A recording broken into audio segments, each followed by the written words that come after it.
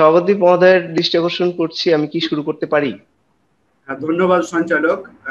সকলকে আবারও শুভেচ্ছা জানাচ্ছি এবং স্বাগতম জানাচ্ছি এই অনলাইন ওয়েবিনারে আমাদের যে সম্মানিত অতিথি স্যার স্যারের কাছে সদায় অবগতি সহ আমি আজকের এই ওয়েবিনার শুরু করার জন্য সঞ্চালককে বিনীত অনুরোধ জানাচ্ছি।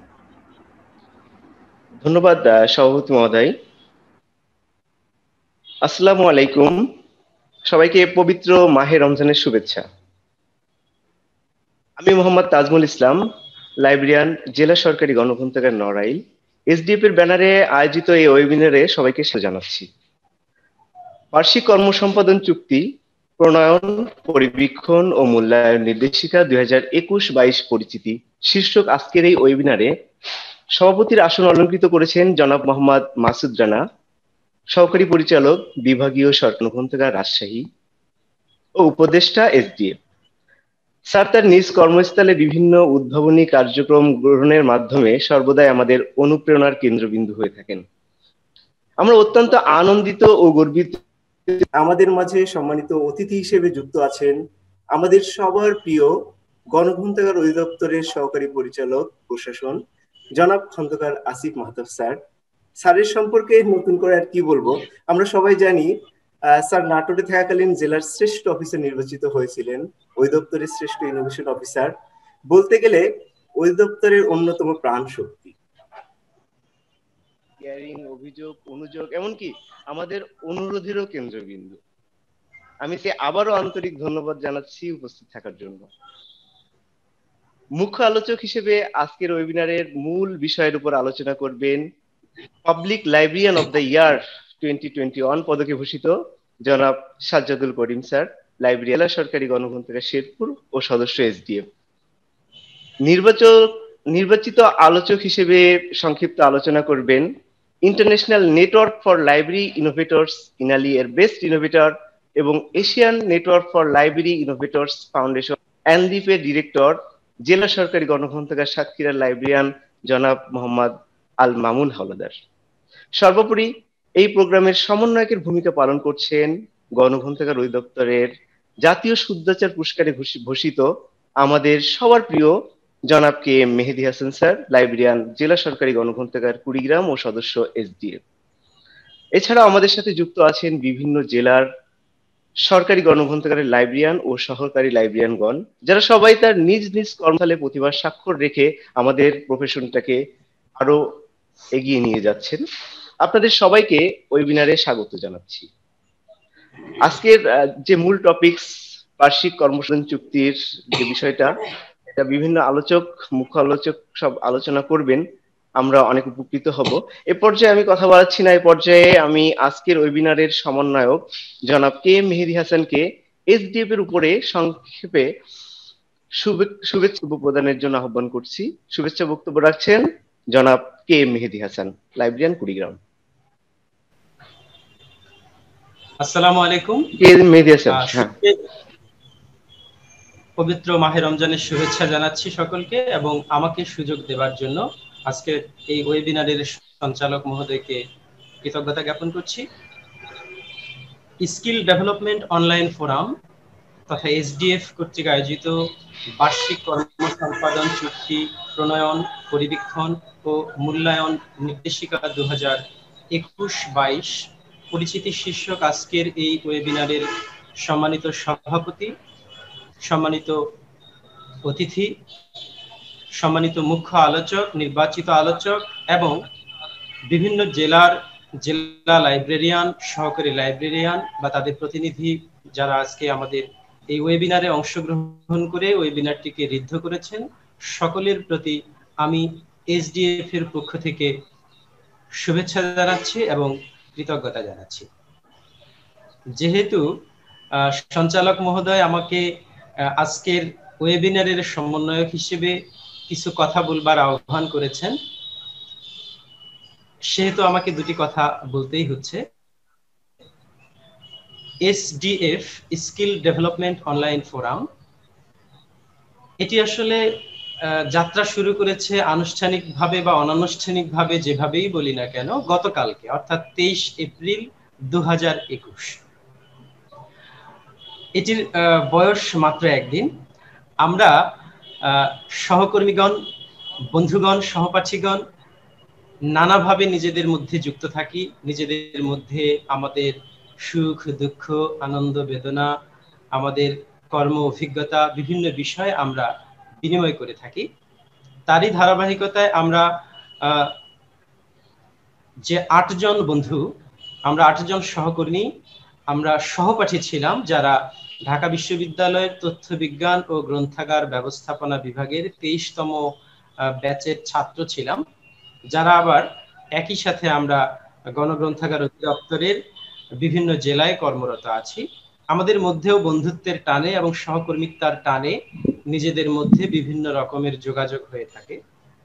আমরা একটা পর্যায়ে উপলব্ধি করলাম যে আমাদের এই যোগাযোগ, আমাদের এই পারস্পরিক আনন্দ বেদনা শেয়ারিং এর এই ক্ষেত্রটিকে আরেকটু কাঠামোবদ্ধ কীভাবে করা যায়। বিশেষ করে এই যে মহামারী পরিস্থিতি, যেটা আমাদেরকে আরও অনলাইনে বেশি করে যুক্ত হবার একটা পরিস্থিতি তৈরি করে দিয়েছে সেজন্য আমাদের মধ্যে আলোচনার প্রেক্ষিতে আমরা ভাবলাম যে আমাদের পেশাগত দক্ষতা, আমাদের কমিউনিকেশন স্কিল আমাদের লিডারশিপ স্কিল এ ধরনের স্কিলগুলোকে আমরা আরও যাতে করে সমৃদ্ধ করতে পারি, সেজন্য কিছু কার্যক্রম আমরা হাতে নিই।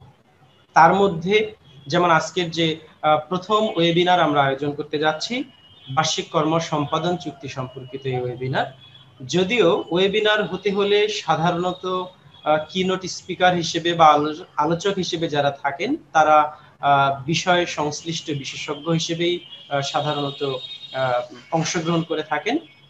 আমি আজকের ওয়েবিনারের সমন্বয়ক হিসেবে সকলের কাছে বিনয়ের সাথে ক্ষমা সুন্দর দৃষ্টি আকর্ষণ চাচ্ছি যে যেহেতু আমাদের মুখ্য আলোচক, আমাদের নির্বাচিত আলোচক যারা আছেন, তারা জ্ঞান গরিমায় ঋদ্ধ হলেও কেউই সেই অর্থে প্রসিদ্ধ কোনো বিশেষজ্ঞ নন। সেজন্য আমাদের এই ওয়েবিনারের যে আলোচনা হবে, সেই আলোচনাটিকে আমরা কেউই অকাট্য কোনো রেফারেন্স হিসেবে নিব না, বরং আমরা ধরে নিব যে আমাদের নিজেদের স্কিল ডেভেলপমেন্টের জন্য, নিজেদের জ্ঞানের পরিধিকে আরও বিস্তৃত করবার জন্য আমাদের এই ক্ষুদ্র প্রয়াস, আমাদের ইচ্ছা আছে। আমাদের পরিকল্পনা আছে। পরবর্তীতে আমরা আস্তে আস্তে আমাদের স্কিল ডেভেলপমেন্টের জন্যই বিভিন্ন ওয়েবিনারে বা বিভিন্ন অন্যান্য কার্যক্রমে আমরা প্রসিদ্ধ যারা আছেন আমাদের সেক্টরে কিংবা অন্যান্য সেক্টরেও যারা আছেন, তাদেরকেও আমরা যুক্ত করবার চেষ্টা করব। অর্থাৎ আমি এসডিএফ এর পক্ষ থেকে এটি কথা দিতে পারি যে এসডিএফ এর যে কার্য পরিমণ্ডল তার পরিবৃদ্ধির জন্য পরিপূর্ণ ইচ্ছা, পরিপূর্ণ আন্তরিকতা, পরিপূর্ণ প্রচেষ্টা আমাদের অব্যাহত থাকবে। আজকের এই ওয়েবিনারে যারা অংশগ্রহণ করেছেন, আমি বিশ্বাস করি যে বার্ষিক কর্ম সম্পাদন চুক্তি যেহেতু আমাদের পেশাগত কার্যক্রমের জন্য অত্যন্ত জরুরি, বাংলাদেশ সরকার আমাদের সকল সেক্টরের সেবার মানোন্নয়নের জন্য অত্যন্ত সুন্দর এপিএ কাঠামো তৈরি করে দিয়েছে। যেহেতু মুখ্য আলোচক আছেন, তিনি আশা করছি যে মন্ত্রী পরিষদ বিভাগের এবারের যে সমন্বিত নীতিমালা, সেটি অত্যন্ত সুন্দরভাবে তিনি উপস্থাপন করবেন, যার উপরে আমরা আমাদের আলোচনাকে সমৃদ্ধ করব, আমাদের নিজেদের জ্ঞান গরিমাকে আমরা ঋদ্ধ করব। তো যারা বিভিন্ন প্রান্ত থেকে আমাদের এই ওয়েবিনারে যুক্ত রয়েছেন, আমি সকলকে পুনরায় এসডিএফ এর পক্ষ থেকে কৃতজ্ঞতা জানাচ্ছি এবং আমাদের ওয়েবিনারের যত বিচ্যুতি থাকবে, সে বিচ্যুতিগুলোকে আপনারা ক্ষমা সুন্দর দৃষ্টিতে দেখবেন। এই কামনা করে আমি আমার কথা এখানে শেষ করছি। আবারও সঞ্চালক মহোদয়কে ধন্যবাদ। আমাকে সুযোগ দিয়েছেন ধন্যবাদ জনাব কে এম দিয়াসন স্যারকে। অত্যন্ত সাবলীল ভাবে গুছিয়ে এসডিএফ এর ইতিহাস, কার্যবলী কোন উদ্দেশ্যে এটা প্রতিষ্ঠিত। আর আজকের যে বিষয়টা সে বিষয়ের উপরে কীভাবে আলোচনা হতে পারে, সবকিছু এত সুন্দরভাবে বলার জন্য আমি আবারও ধন্যবাদ জানাচ্ছি জনাব কে মেহেদি হাসান স্যারকে। এ পর্যায়ে আমি সম্মানিত অতিথি আমাদের পরিচালক প্রশাসন জনাব খন্দকার আসিফ মাহতাব স্যারকে তার মূল্যবান আলোচনা পেশ করার জন্য অনুরোধ জানাচ্ছি। আলোচনা রাখছেন জনাব খন্দকার আসিফ মাহতাব স্যার। ধন্যবাদ, সঞ্চালক জনাব তাজমুল সম্মানিত সভাপতি এবং আমার প্রিয় সহকর্মীবৃন্দ যাদেরকে আমি স্ক্রিনে দেখতে পাচ্ছি। সবাইকে মাহের রমজানের শুভেচ্ছা এবং একই সাথে এই যে এসডিএফ কর্তৃক আয়োজিত যে ওয়েবিনার এটার প্রথম দিনের প্রথম সেমিনার প্রথম আনুষ্ঠানিক একটি অনুষ্ঠানের জন্য সবাইকে অভিনন্দন জানাচ্ছি। প্রথমে বলব যে আসলে একদিন বয়সী যে অর্গানাইজেশন এটির এটির একটি চমৎকার আয়োজন, এটি সত্যি খুবই বিস্মিত আমি। কারণ এত সুন্দর মানে ফর্মাল ভাবে যে কথাবার্তাগুলো আমি শুনছি বা আলোচনা হচ্ছে এবং প্রত্যেকের উপস্থিতি, সব মিলিয়ে খুব মানে দারুণ একটা ব্যাপার হচ্ছে আমার মনে হয়। এবং আমি নিজেও কিছুটা মানে মানে কিছুটা হেজিটেট ফিল করছি এইভাবে যে এই এরকম একটা অনুষ্ঠানে আমাকে কেন গেস্ট অফ অনার করা হলো। কারণ গেস্ট অফ অনার করার দক্ষতাও আমার মনে হয় আরও একটু প্রয়োজন আছে আর কি। আরও কিছুদিন মনে হয় এই দক্ষতা উন্নয়ন সংক্রান্ত কার্যক্রমের সাথে থাকলেই হয়তো আমি সেই দক্ষতাগুলো আমরা অর্জন করতে পারব সম্মানিত অতিথি, প্রধান অতিথি বিভিন্নভাবে। তো যাই হোক মূল কথা যে আমি আজকে যে বিষয়টা নিয়ে আলোচনা হবে এপিএ এটি খুবই গুরুত্বপূর্ণ একটি বিষয়। হয়তোবা সরকারি ভাবেও আমাদের অধিদপ্তর থেকেও এ ধরনের কোনো সেমিনার ওয়ার্কশপ অথবা ট্রেনিং আমাদের জুমের মাধ্যমে অতি শীঘ্রই অনুষ্ঠিত হবে যেটা আমাকে, আমাদের ফাতেমা ম্যাডাম বলেছেন। কিন্তু আমার মনে হচ্ছে যে এত সুন্দরভাবে আয়োজন ওটা হতে হবে কিনা বা এতটা অর্গানাইজড হবে কিনা সে বিষয়ে আমি সন্দেহ মানে সন্দেহ, কিছুটা সন্দেহ প্রশ্ন করছি। তো সবচেয়ে আমি কিছুটা ইয়ে বলব যেটা যে,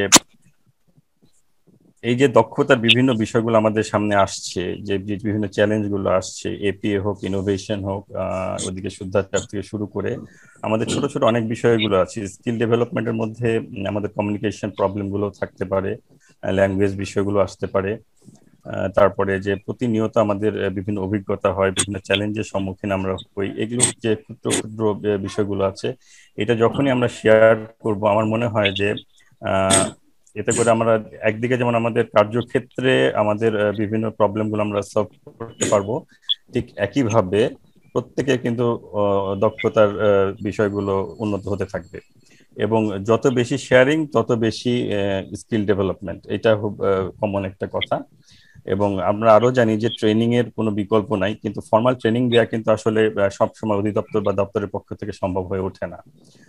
বিশেষ করে আমাদের বাজেট স্বল্পতা হোক বা জনবল স্বল্পতা রয়েছে এবং কিছু অবকাঠামোগত কিছু ব্যাপার রয়েছে। তো এই সমস্ত বিষয়গুলো থেকে যে একটা প্যারালাল ভাবে একটা অর্গানাইজেশন উঠে আসছে আমাদের মধ্যে থেকেই এটা আসলে আমি মনে করি যে শুধু ব্যক্তিগত না, এটা মানে প্রাতিষ্ঠানিক দক্ষতা উন্নয়নেও খুব বড় রকমের একটা ভূমিকা পালন করবে। এবং এখানে যারা জড়িত আছে প্রত্যেকেই আমি দেখতে পাচ্ছি যে নিজ নিজ ক্ষেত্রে খুবই স্কিল্ড এবং তাদের ইতোমধ্যে যদিও চাকরির বয়স অনেকের দুই বছর থেকে এক বছর এরকম হয়েছে হয়তো বা কিন্তু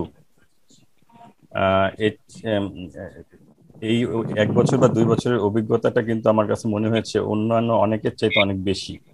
ইভেন আমাদের মধ্যে যারা আছে, তাদেরও কিন্তু এতটু, এতটা ইনফরমেটিভ বা এতটা অর্গানাইজড কোনো ইয়ে নেই। মানে এতটা অর্গানাইজড কোনো অ্যাক্টিভিটিস আমি লক্ষ্য করি নাই, যেটা আমি হচ্ছে আমার এই প্রিয় সহকর্মীদের কাছ থেকে আমি পাচ্ছি। তো আমি আসলে খুব বেশি কথা বাড়াবো না। আমি খুবই আগ্রহ নিয়ে অপেক্ষা করছি যে আমাদের মূল প্রেজেন্টেশনটা হবে এপি এর উপরে। কারণ এবারের এপি এর প্রেজেন্টেশনটা কিন্তু একটু অন্যরকম গত গতানুগতিক ভাবে যে এপি এর বিষয়গুলো আমরা দেখে আসছি, আমাদের এপি এর ছকগুলো, আমাদের যে নির্দেশিকাটা ছিল, এবারে খুবই আমূল পরিবর্তনই এসেছে আমি বলব। এখানে এপি এর সাথে ইনোভেশন এবং শুদ্ধাচারকেও খুব মানে ভাস্টলি এটাকে সংযুক্ত করা হয়েছে। তো সেদিক থেকে আমার মনে হয় যে যারা আছে এখানে উপস্থিত, তারা সবাই উপকৃত হবে এবং এদের মাধ্যমে তাদের সহকর্মী যারা আছে নিজ নিজ দপ্তরে তারাও উপকৃত হবে। আমি আর বেশি কথা বাড়াতে চাই না। আমি আসলে এই সেমিনার ওয়েবিনার সহ এসডিএফ এর যে কার্যক্রম, সেটা আরও অনেক ব্যাপক বিস্তৃতি লাভ করুক এবং এটার সাথে সংযুক্ত হোক আমাদের গণগ্রন্থাগার অধিদপ্তরের সকল পর্যায়ের কর্মকর্তা, কর্মচারী এই আশাবাদ ব্যক্ত করে এবং সকলের মঙ্গল এবং সার্বিক উন্নয়ন কামনা করে আমি আমার বক্তব্য শেষ করছি। ধন্যবাদ সবাইকে। ধন্যবাদ স্যারকে। স্যারের অনেক গুরুত্বপূর্ণ এবং দিক নির্দেশনা মূলক আলোচনা শুনলাম। আমরা জেনে দিত হয়েছি যে আমাদের অধিদপ্তর এরকম একটা এপি এর উপরে এ ধরনের ওয়েবিনার আয়োজন করবে বা কর্মশালা আয়োজন করবে। আমি স্যার আরও দিক নির্দেশনামূলক যে যে কথাগুলো বলেছেন, যেমন আমরা আরও কীভাবে এই এসডিএফটাকে এগিয়ে নিয়ে যেতে পারি ল্যাঙ্গের কথা বললেন স্যার। বিভিন্ন প্রবলেম হলে সেই সলভিং এর বিষয়ে নলেজ শেয়ারিং এর উপরে হতে পারে। স্যারের সবচেয়ে গুরুত্বপূর্ণ যে কথাটা এবং যেটা খুবই ভালো লেগেছে, যত বেশি নলেজ শেয়ারিং তত বেশি স্কিল ডেভেলপমেন্ট আমরা স্যারের দিক নির্দেশনা মেনে আরও আমরা অনেক ভালোভাবে কাজ করব। আর আমাদের স্যার আমাকে যদিও বলছে যে স্যার আসলে নিজেকে ফিল করছে না, কিন্তু আমরা জানি যে স্যারের দক্ষতা কত। স্যারকে আমরা কতটা ভালোবাসি এবং কতটা দক্ষ এবং সে স্যার আমাদের, স্যারের দিক নির্দেশনায় আমরা আরও কত দূর এগিয়ে যেতে পারি। ধন্যবাদ স্যারকে, আবারও। এ পর্যায়ে আমি আজকের ওয়েবিনার মুখ্য আলোচক public librarian of the year twenty twenty one পদকে ভূষিত জেলা সরকারি গণগ্রন্থাগার শেরপুরের লাইব্রেরিয়ান জনাব সাজ্জাদুল করিম স্যারকে তার আলোচনা রাখার জন্য অনুরোধ করি। অসংখ্য ধন্যবাদ সম্মানিত সঞ্চালক মহোদয়কে। আমি সবার দৃষ্টি আকর্ষণ করছি। আমার স্ক্রিন কি দেখা যাচ্ছে? আচ্ছা ঠিক আছে। Skill development online forum, SDF কর্তৃক আয়োজিত বার্ষিক কর্মসম্পাদন চুক্তি দু হাজার একুশ দু হাজার বাইশ, প্রণয়ন, পরিবীক্ষণ ও মূল্যায়ন নির্দেশিকা পরিচিতি এবং আমাদের করণীয় শীর্ষক আজকের যে ওয়েবিনার সেই ওয়েবিনারে উপস্থিত রয়েছেন সম্মানিত সভাপতি সম্মানিত অতিথি, সম্মানিত সহকর্মীবৃন্দ এবং সুপ্রিয় উপস্থিতি। সবাইকে আমি স্বাগত জানাচ্ছি। আসসালামু আলাইকুম এবং শুভ সকাল। আজকে বার্ষিক কর্মসম্পাদন চুক্তি দু হাজার একুশ বাইশ এর যে নির্দেশনা মন্ত্রী পরিষদ বিভাগ থেকে দেওয়া হয়েছে, তার উপরে সংক্ষিপ্ত একটি উপস্থাপন আপনাদের সাথে শেয়ার করতে যাচ্ছি। সম্মানিত উপস্থিতি, আমরা সবাই জানি যে আমরা বাংলাদেশ গণপ্রজাতন্ত্রী বাংলাদেশ সরকারের মন্ত্রী পরিষদ বিভাগের নির্দেশনা মোতাবেক আমরা প্রতি বছর সকল পর্যায়ের সরকারি দপ্তর বার্ষিক কর্মসম্পাদন চুক্তি সম্পাদন করে থাকি এবং সেটি বাস্তবায়ন করে থাকি। তারই ধারাবাহিকতায় আসন্ন দু হাজার একুশ দু হাজার বাইশ অর্থ বছরেও মন্ত্রী পরিষদ বিভাগ থেকে আমাদের জন্য এরকম একটি নির্দেশনা দেওয়া হয়েছে। তো সেই নির্দেশনার সাথে আমরা আজকে পরিচিত হব এবং আমাদের করণীয় কি রয়েছে সেই বিষয়গুলো সম্পর্কে আপনাদের সাথে সংক্ষিপ্ত পরিসরে আলোচনা উপস্থাপনের প্রয়াস পাবো। সম্মানিত সুধি, আজকে আমরা যে উপস্থাপনা আপনাদের সাথে শেয়ার করতে যাচ্ছি, সেই উপস্থাপনাটিকে আমরা প্রথমত চারটি ভাগে ভাগ করেছি। যেহেতু আমরা জানি যে এটি একটি অনেক বড় একটি ডকুমেন্ট এই স্বল্প পরিসরে এত বড় ডকুমেন্ট শেয়ার করা আমাদের জন্য কঠিন। সেহেতু আমরা এই নির্দেশনাটিকে চারটি মেজর পয়েন্টে ভাগ করে তার উপর আমরা আজকের এই উপস্থাপনা আপনাদের সাথে শেয়ার করার প্রয়াস পাব। তো এখানে আপনারা দেখতে পাচ্ছেন, এক নজরে আজকের উপস্থাপনার যে চারটি মেইন পয়েন্ট সেই পয়েন্টগুলো প্রথমেই আপনারা দেখতে পাচ্ছেন এপি এর সমন্বিত নির্দেশিকা দু হাজার একুশ, দু হাজার বাইশ পরিচিতি। এরপরে আমরা যেটি আলোচনা করব এপি এর উল্লেখযোগ্য পরিবর্তন সমূহ। তৃতীয়ত, আমরা এপি এর নতুন কাঠামোগুলোর সাথে একটু পরিচিত হব এবং ফাইনালি আমাদের করণীয় সমূহ যেগুলো রয়েছে, সেগুলোর সাথে আমরা সংক্ষিপ্ত পরিসরে একটু পরিচিত হব। আমি পরবর্তী স্লাইডে যাচ্ছি। সম্মানিত সুধী, এখানে আপনারা দেখতে পাচ্ছেন, সমন্বিত নির্দেশিকা দু হাজার একুশ দু হাজার বাইশ পরিচিতির কিছু খণ্ডচিত্র। তো আমি এ পর্যায়ে সমন্বিত নির্দেশিকার যে ক্যাবিনেট ডিভিশন থেকে যে নির্দেশিকাটা করা হয়েছে, সেই নির্দেশিকাতে একটু আপনাদের সাথে যাচ্ছি। মন্ত্রী পরিষদ বিভাগ থেকে দু হাজার একুশ বাইশ অর্থ বছরের জন্য এরকম একটি নির্দেশিকা দেওয়া হয়েছে, যে নির্দেশিকাটি আমরা মন্ত্রী পরিষদ বিভাগের ওয়েবসাইট থেকে ডাউনলোড করে নিয়ে যার যার মতো করে দেখতে পারব। আমরা এখানে মন্ত্রী পরিষদ বিভাগের ওয়েবসাইটটা দেখতে পাচ্ছি। ওয়েবসাইটের নিচে স্ক্রল করে আসলে বার্ষিক কর্ম সম্পাদন চুক্তি যে সেবা বক্স রয়েছে, সেই সেবা বক্সের মধ্যে এপিএ প্রকাশনা নির্দেশিকা পরিপত্র এপিএটি এই লিঙ্কটাতে ক্লিক করলেই আমরা আমাদের কাঙ্ক্ষিত যে নির্দেশিকা বা নীতিমালা মন্ত্রী পরিষদ বিভাগ থেকে নির্ধারণ করা হয়েছে, সেটি আমরা দেখতে পাবো। তো আমি বিস্তারিত এখানে আর দেখাচ্ছি না, সময়ের স্বল্পতা রয়েছে এই জন্য। এরপরে আমরা যেটি নিয়ে মূলত আলোচনা করব, আজকে উল্লেখযোগ্য যে পরিবর্তন সমূহ এপিএতে করা হয়েছে, সেই পরিবর্তন সমূহ নিয়ে আমি আপনাদের সাথে কিছু বিষয় শেয়ার করব।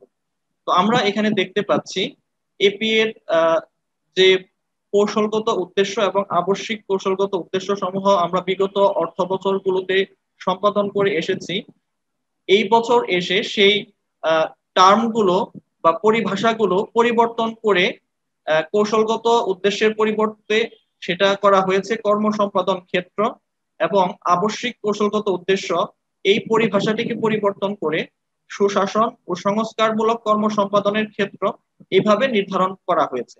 উল্লেখ্য যে কৌশলগত এবং আবশ্যিক কৌশলগত উদ্দেশ্য কেবলমাত্র মন্ত্রণালয় এবং বিভাগ পর্যায়ের মাঝে সীমিত রাখা হয়েছে। এরপরে দ্বিতীয় যে উল্লেখযোগ্য পরিবর্তনটি এবছর এপিতে করা হয়েছে সেটি হচ্ছে সুশাসনমূলক যে কার্যক্রমগুলো আমরা বিগত সময়েও করে এসেছি, যেমন NIS, GRS, CC e governance and innovation RTI, এগুলোকে এপি এর সাথে মার্চ করে পুরো বার্ষিক কর্ম সম্পাদন পরিকল্পনা প্রণয়ন করা হয়েছে। অর্থাৎ শুদ্ধাচার কৌশল অভিযোগ প্রতিকার ব্যবস্থাপনা, সেবা প্রদান প্রতিশ্রুতি ই গভর্নেন্স ও উদ্ভাবন এবং তথ্য অধিকার। এদের জন্য পৃথক পৃথক কর্ম পরিকল্পনা আমাদেরকে প্রণয়ন করতে হবে এবং সেই কর্ম পরিকল্পনাগুলো এপি এর সাথে সংযুক্ত করে আমাদেরকে ঊর্ধ্বতন কার্যালয়ে প্রেরণ করতে হবে। এখানে একটি বিষয় আমি বলে রাখি আমাদের মাঠ পর্যায়ের দপ্তরের জন্য শুদ্ধাচার কৌশল এবং বার্ষিক কর্মসম্পাদন চুক্তি মূলত এই দুইটি কৌশলের মধ্যে বা কর্ম পরিকল্পনার মধ্যে আমাদের কাজ করার অবকাশ রয়েছে। বাকি আপনারা যে দেখতে পাচ্ছেন, অভিযোগ প্রতিকার ব্যবস্থা, সেবা প্রদান প্রতিশ্রুতি ই গভর্নেন্স ও উদ্ভাবন এবং তথ্য অধিকার। এই যে বিষয়গুলো রয়েছে, এই বিষয়ে আমাদের সরাসরি কাজ করার তেমন কিছু নেই। এখানে মন্ত্রী পরিষদ বিভাগ থেকে সুনির্দিষ্ট কর্ম পরিকল্পনা বা সূচক বা নাম্বার বন্টন সবকিছু রেডি করে দেওয়া হয়েছে। আমরা শুধু আমাদের দপ্তরে এপি এর সাথে সেটি সংযুক্ত করে দেব এবং সেই অনুযায়ী আমরা আমাদের কার্যক্রম পরিচালনা করব। এপি এর দু হাজার বিশ দু একুশ দু বাইশ অর্থ বছরে আরেকটি উল্লেখযোগ্য যে পরিবর্তন সম্পাদন করা হয়েছে, সেটি হচ্ছে নাম্বার বন্টনে নাম্বার বন্টনে আমরা বিগত সময়ে কৌশলগত উদ্দেশ্যের ক্ষেত্রে পঁচাত্তর নম্বর এবং আবশ্যিক কৌশলগত উদ্দেশ্যে পঁচিশ নম্বর। এভাবে সর্বমোট একশত নম্বরের মধ্যে কর্ম পরিকল্পনা বাস্তব, বাস্তবায়ন করে এসেছি। কিন্তু এই বছরে এসে এই নাম্বার বন্টনে একটু পরিবর্তন করে সত্তর এবং তিরিশ, এভাবে একশো নম্বর বন্টন করা হয়েছে। এটি একটি উল্লেখযোগ্য সংযোজন বা পরিবর্তন। এরপরে আরও কিছু পরিবর্তন এখানে করা হয়েছে। আমি খুব বেশি বলতে পারছি না সময়ের স্বল্পতার কারণে। আমি সংক্ষেপে আপনাদের সাথে শেয়ার করছি। আশা করি মন্ত্রী পরিষদ বিভাগের যে নির্দেশনা দেয়া আছে, সেখানে আরও বিস্তারিত ভাবে এই বিষয়গুলো উঠে এসেছে। আপনারা সেখান থেকে জানতে পারবেন এই বিষয়গুলো। আমি জাস্ট সংক্ষিপ্ত পরিসরে আপনাদের সাথে কিছু বিষয় শেয়ার করছি। এরপরে যে বিষয়টি রয়েছে, সংযোজনী এক, যেটি আমরা শব্দ, সংক্ষেপ বা অ্যাক্রোনেম এইভাবে ব্যবহার করতাম, সেখানে একটু পরিবর্তন যেটি করা হয়েছে এর পূর্বে আমরা শুধু ইংরেজিতে শব্দ সংক্ষেপ এই বিষয়গুলো উল্লেখ করতাম। এবছর থেকে ইংরেজি শব্দ সংক্ষেপের সাথে বাংলা ভাষাতে যে শব্দ সংক্ষেপগুলো আমরা ব্যবহার করব, সেই শব্দ সংক্ষেপের পূর্ণরূপ এখানে উল্লেখ করতে বলা হয়েছে। এরপরে আপনারা দেখতে পাচ্ছেন সংযোজনী দুই। এই ক্ষেত্রে এর নাম পরিবর্তন করে করা হয়েছে কর্ম সম্পাদন ব্যবস্থাপনা ও প্রমাণক যেটি দু হাজার বিশ একুশ অর্থ বছরে বা এর আগে ভিন্ন নামে পরিচিত ছিল। এবং এখানে কলাম সংখ্যা কিছু কমিয়ে পাঁচটি করা হয়েছে। বিগত বছরগুলোতে যেখানে কলাম সংখ্যা ছয় অথবা তারও বেশি ছিল। একইভাবে সংযোজনী তিনের ক্ষেত্রেও কলাম সংখ্যা কমিয়ে চারটি করা হয়েছে। আরেকটি উল্লেখযোগ্য যে পরিবর্তন আমার নজরে এসেছে সেটি হচ্ছে এপিএ টিমের সভা বিগত সময়ে আমরা প্রতি মাসে একটি করে করে এসেছি। কিন্তু এই বছর নির্দেশনা দেওয়া হয়েছে এপিএ টিমের সভা প্রতি দুই মাস পরে পর, দুই মাস পর পর একটি করে করতে হবে। অর্থাৎ পুরো অর্থ বছর জুড়ে ছয়টি সভা সম্পাদন করতে হবে। এবারে আসি এপি এর নতুন কাঠামো পরিচিতি এই বিষয়টিতে। এপি এর নতুন কাঠামো পরিচিতি সম্পর্কে জানতে গেলে আমাদেরকে একইভাবে W dot cabinet dot GOV dot BD এই ওয়েবসাইট থেকে কাঠামোটি ডাউনলোড করে আমরা যার যার সুবিধাজনক সময়ে এটা দেখে নিতে পারব। আমি আপনাদের সাথে এই পর্যায়ে এপি এর কাঠামোর সাথে একটু পরিচয় করিয়ে দেওয়ার চেষ্টা করব। সম্মানিত সুধী, আমি এখানে সময়ের স্বল্পতার কারণে কেবলমাত্র আমাদের মাঠ পর্যায়ের দপ্তরের জন্য যে কাঠামোটা আছে, আমি সেটি শুধু আপনাদের সাথে শেয়ার করব। আমরা দপ্তর, সংস্থা এবং মাঠ পর্যায়ের অফিসের জন্য যে চুক্তির কাঠামো মন্ত্রী পরিষদ থেকে নির্ধারণ করে দেওয়া হয়েছে, আমরা সেটি আপনাদের সাথে শেয়ার করছি। প্রথমে আমরা প্রথম পাতা দেখতে পাচ্ছি, এখানে খুব বেশি পরিবর্তন করা হয়নি, যেভাবে আগে আমরা করেছি সেরকমই আছে। এরপরে সূচিপত্র আপনারা এখানে দেখতে পাচ্ছেন।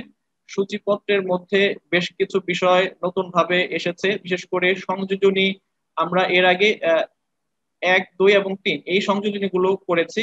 এবার নতুন ভাবে যেটি করা হয়েছে, চার থেকে নয় পর্যন্ত। এই সংযোজনী গুলো আমাদের নতুন ভাবে সংযুক্ত করতে হবে। উল্লেখ্য, এখানে সংযোজনী চার কেবলমাত্র মন্ত্রণালয়ের জন্যই প্রযোজ্য। আমাদের ক্ষেত্রে সংযোজনী চারটি যুক্ত করতে হবে না। এরপরে কর্ম সম্পাদনের সার্বিক চিত্র, এটি আগের মতোই রয়ে গেছে। এখানে কোনো পরিবর্তন করা হয়নি। প্রস্তাবনার ক্ষেত্রেও একই কথা। এরপরে আমরা সেকশন ওয়ানের কথা বলছি। আমাদের মাঠ পর্যায়ের অফিসের জন্য আমরা যেটা বলেছি, এক পয়েন্ট তিনে যেটি আমরা বিগত সময়ে কৌশলগত উদ্দেশ্য এই পরিভাষা ব্যবহার করেছি, এবার থেকে করতে হবে কর্ম সম্পাদনের ক্ষেত্র, যেটা এক পয়েন্ট তিনে আপনারা দেখতে পাচ্ছেন। এবং নিচে যেটি আছে, সুশাসন ও সংস্কারমূলক কর্ম সম্পাদনের ক্ষেত্র, যেটিকে আমরা ইতিপূর্বে আবশ্যিক কৌশলগত উদ্দেশ্য হিসেবে ব্যবহার করেছি। এই দুইটি উল্লেখযোগ্য পরিবর্তন সেকশন ওয়ানে করা হয়েছে। এরপর সেকশন টু আপনারা এখানে দেখতে পাচ্ছেন। সেকশন টু তে খুব বেশি পরিবর্তন করা হয়নি। অতীতে আমরা যেভাবে করে এসেছি, এবারও সেভাবে আমরা করব। সেকশন থ্রি আমরা আপনাদের সাথে এখন শেয়ার করছি। সেকশন থ্রিতেও যে পরিবর্তনটি করা হয়েছে, কলাম সংখ্যা আগের মতোই আছে। মেইন পরিবর্তন যেটা আপনারা দেখতে পাবেন, আমরা এখানে মূলত কৌশলগত উদ্দেশ্য এবং আবশ্যিক কৌশলগত উদ্দেশ্য, এই দুইটি পরিভাষা ব্যবহার করতাম। এবার এটা সংশোধন করে করা হয়েছে। আপনারা দেখতে পাচ্ছেন, কর্ম সম্পাদন ক্ষেত্র সমূহ এবং দ্বিতীয় যেটা করা হয়েছে, সুশাসন ও সংস্কারমূলক কর্ম সম্পাদনের ক্ষেত্র সমূহ আর নাম্বার বন্টনের ক্ষেত্রে আমি যেটা বলেছিলাম, এখানে কর্ম সম্পাদন ক্ষেত্র সমূহের ক্ষেত্রে সত্তর নম্বর করা হয়েছে, আর সুশাসন, সংস্কারমূলক কর্ম সম্পাদনের ক্ষেত্রে করা হয়েছে তিরিশ নম্বর। আর আর এখানে যে বিস্তারিত ছকটা আপনারা দেখতে পাচ্ছেন, আমি মনে হয় আর বেশি কিছু না বলি, আপনারা সবাই এই বিষয়টা বুঝতে পারবেন। আমি আমার প্রেজেন্টেশনটা এগিয়ে নিয়ে যাই। এরপরে আমাদের এপিএ স্বাক্ষরের পাতা যেটি ছিল সেটিও পরিবর্তন করা হয়নি। সংযোজনী এক যেটি আমরা করেছি শব্দ সংক্ষেপ, সেটি যেভাবে ছিল ওইভাবে করতে হবে। সংযোজনী দুই এর ক্ষেত্রে এখানে পরিভাষা পরিবর্তন করা হয়েছে, কর্ম সম্পাদন, ব্যবস্থাপনা ও প্রমাণক। এভাবে করা হয়েছে এবং এখানে কয়েকটা কলাম পরিবর্তন কমিয়ে ফেলা হয়েছে। আমি সময় স্বল্পতার জন্য খুব বেশি বলছি না এখানে। আপনারা সবাই বুঝতে পারবেন। বিগত বছরের এপি এর সাথে কম্পেয়ার করলে। সংযোজনী তিনের ক্ষেত্রেও কিছু কলাম এখানে কমিয়ে রাখা হয়েছে যেটি এই বছরের উল্লেখযোগ্য কিছু পরিবর্তন। সংযোজনী চার, আমি যেটি বলেছি যে এটি শুধুমাত্র মন্ত্রণালয় এবং বিভাগের জন্য প্রযোজ্য, এটি আমাদের জন্য প্রযোজ্য নয়। এরপরে সংযোজনী পাঁচ, ছয় যেগুলো আছে, এগুলো আমাদের প্রত্যেকের ইন্ডিভিজুয়াল পরিকল্পনা যুক্ত করতে হবে। এ পর্যায়ে আমি আমাদের শুদ্ধাচার কর্ম পরিকল্পনার কাঠামোটা আপনাদের সাথে শেয়ার করব। আঞ্চলিক ও মাঠ পর্যায়ের কার্যালয়ের জাতীয় শুদ্ধাচার কৌশল কর্ম পরিকল্পনা দু হাজার একুশ, দু হাজার বাইশ। এটি হচ্ছে আমাদের মাঠ পর্যায়ের দপ্তরের জন্য এই কাঠামোটা প্রযোজ্য হবে। এখানে খুব উল্লেখযোগ্য পরিবর্তন যেটি করা হয়েছে, আমরা বিগত সময়ে কার্যক্রম মোট তেরোটি কার্যক্রম সম্পাদন করতাম। যেটি এবার কমিয়ে মাত্র তিনটিতে নিয়ে আসা হয়েছে। আপনারা এখানে একেবারে সর্ববামের যে কলামটা দেখছেন, কার্যক্রমের ক্ষেত্র, মাত্র তিনটি কার্যক্রম নির্দিষ্ট করে দেওয়া হয়েছে। এটি একটি উল্লেখযোগ্য পরিবর্তন। যার প্রথমটি হচ্ছে প্রাতিষ্ঠানিক ব্যবস্থা, যেটি আগেও ছিল। দ্বিতীয়টি করা হয়েছে ক্রয়ের ক্ষেত্রে শুদ্ধাচার, এটিও বিগত সময়ে ছিল। এবং তৃতীয় যে কার্যক্রম করা হয়েছে, সেটি হচ্ছে শুদ্ধাচার সংশ্লিষ্ট ও দুর্নীতি প্রতিরোধে সহায়ক অন্যান্য কার্যক্রম। এখানে বলে রাখা ভালো যে, এই কার্যক্রমগুলো সবই বিগত সময়গুলোতে ছিল, কিন্তু নাম্বার এখানে পরিবর্তন করা হয়েছে। আগে যে নাম্বারে, যেমন এই তিন নম্বরের যে কার্যক্রমগুলো, এগুলো আগে ছিল নয় নম্বরে। এটা পরিবর্তন করে তিন নম্বরে নিয়ে আসা হয়েছে। দুই নম্বরের কার্যক্রমটা ছিল সম্ভবত সাত নম্বর পয়েন্টে। এটাও পরিবর্তন করা হয়েছে। তো এরকম বেশ কিছু পরিবর্তন এখানে করা হয়েছে। আমার মনে হয় যে আপনারা সবাই এটা দেখলে বুঝতে পারবেন। আর বাকি যে বিষয়গুলো, আমি আর বিস্তারিত এখানে যাচ্ছি না। এরপরে আমরা ই গভর্নেন্স ও উদ্ভাবন কর্ম পরিকল্পনার যে কাঠামো মন্ত্রিপরিষদ থেকে নির্ধারণ করে দেওয়া হয়েছে, সেই কাঠামোটা আপনাদের সাথে শেয়ার করব। এটি হচ্ছে আমাদের মাঠ পর্যায়ের দপ্তরগুলোর জন্য ই গভর্নেন্স এবং উদ্ভাবন কর্ম পরিকল্পনা দু হাজার একুশ দু হাজার বাইশের কাঠামো। এখানে আপনারা দেখতে পাচ্ছেন যে সবকিছু কিন্তু মন্ত্রী পরিষদ থেকে নির্ধারণ করিয়ে দেয়া আছে। এখানে আমাদেরকে কিছু করার নাই। এখানে সবকিছু লক্ষ্যমাত্রা থেকে শুরু করে সকল কার্যক্রম সূচক, একক কর্মসম্পাদন সূচকের মান, লক্ষ্যমাত্রা সবকিছু নির্ধারিত করে দেয় আছে। আমরা শুধু আমাদের দপ্তরের নাম যুক্ত করে আমরা এপি এর সাথে যুক্ত করে দেবো এই প্ল্যানটা এবং এই অনুযায়ী আমরা কাজ করব। তো আমি এখানে আর খুব বেশি সময় নিচ্ছি না। পরবর্তী কাঠামোতে কাঠামোতে চলে যাচ্ছি। এরপরে রয়েছে সেবা প্রদান প্রতিশ্রুতি কর্ম পরিকল্পনা।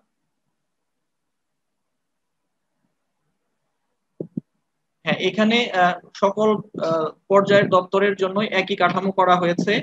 এখানেও আপনারা দেখতে পাচ্ছেন মোট পঁচিশ নম্বর বরাদ্দ করা হয়েছে যেটির তেরো নম্বর বরাদ্দ করা হয়েছে প্রাতিষ্ঠানিক ক্ষেত্রে এবং সক্ষমতা অর্জনের ক্ষেত্রে বারো নম্বর নির্ধারণ করা হয়েছে। এখানেও আমাদের নতুন করে সংযোজন বা বিযোজনের কিছু নেই সব বিষয়গুলো মন্ত্রিপরিষদ থেকেই নির্দিষ্ট করে দেওয়া হয়েছে। এরপরে আপনারা দেখতে পাচ্ছেন অভিযোগ প্রতিকার ব্যবস্থাপনা সংক্রান্ত কর্মপরিকল্পনা। এক্ষেত্রেও একই কথা প্রযোজ্য যে সকল পর্যায়ের দপ্তরের জন্য একই কাঠামো নির্ধারণ করে দেওয়া হয়েছে। এখানেও আমরা দেখতে পাচ্ছি পঁচিশ নম্বরের মধ্যে দুইটি ক্ষেত্রে আমাদের কাজ করতে হবে, যেগুলো আমরা আহ অতীতেও করেছি।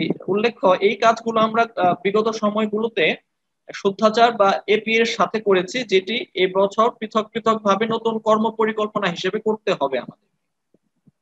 এখানেও একই কথা, সবকিছু মন্ত্রী পরিষদ থেকে নির্দিষ্ট, এখানে আমাদের হাত দেওয়ার কোনো সুযোগ নেই। এরপরে আমরা দেখব তথ্য অধিকার বিষয়ক যে কর্ম পরিকল্পনা সেটি। হ্যাঁ এখানে আপনারা দেখতে পাচ্ছেন সকল সরকারি অফিসের জন্য তথ্য অধিকার বিষয়ে যে কর্ম পরিকল্পনা প্রণয়ন করা হয়েছে তার চিত্র। এখানেও সর্বমোট পঁচিশ নম্বরের মধ্যে আমাদের দুইটি ক্ষেত্রে কাজ করতে হবে।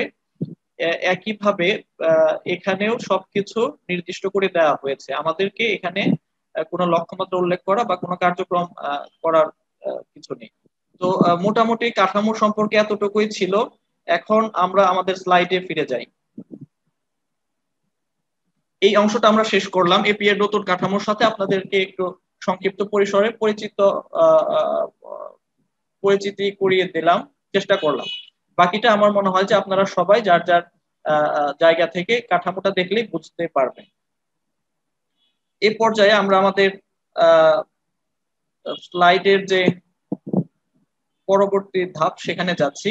আমরা বলেছিলাম যে আমাদের সর্বশেষ প্রেজেন্টেশনের বিষয় ছিল যে আমাদের করণীয় কি? আমরা আমাদের দাপ্তরিক কর্মকাণ্ড আরও স্বচ্ছতার সাথে এবং আরও সুন্দরভাবে দক্ষতার সাথে সম্পাদনের জন্য কি কাজ করতে পারি সেই সম্পর্কে আমরা এখানে সংক্ষিপ্ত পরিসরে কথা বলার প্রয়াস করব। আমরা এখানে দেখতে পাচ্ছি যে এপিএ সংক্রান্ত আমাদের পুরো বছরে কি করতে হবে, কত তারিখের মধ্যে কোন কাজটি করতে হবে কতগুলো মিটিং করতে হবে বা কতগুলো রিপোর্ট বা প্রতিবেদন প্রেরণ করতে হবে, তার একটি সংক্ষিপ্ত উপস্থাপনা। আমি এখানে বিস্তারিত আর পড়ছি না, আপনারা স্ক্রিনে দেখতে পাচ্ছেন বিষয়গুলো।